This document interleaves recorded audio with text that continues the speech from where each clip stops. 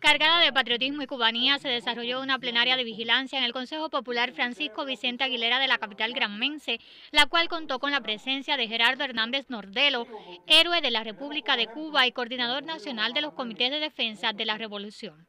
Matizado por la lluvia, se efectuó el encuentro en el que se hizo un análisis del comportamiento del delito en la citada zona y se enfatizó en la necesidad de reforzar la Guardia Cederista, tarea fundacional de la mayor organización de masas del país y herramienta para mantener los barrios en ambiente sano y de tranquilidad.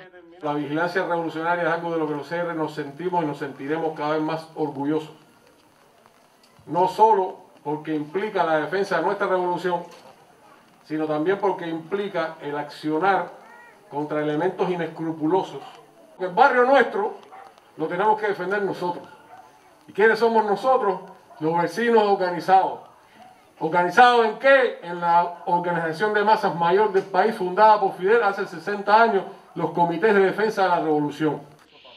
Encuentro, Hernández Nordelo también reconoció el trabajo destacado de esta provincia oriental en el cumplimiento de las tareas medibles de la organización, resultados que la mantienen entre las primeras del país en el universo cederista.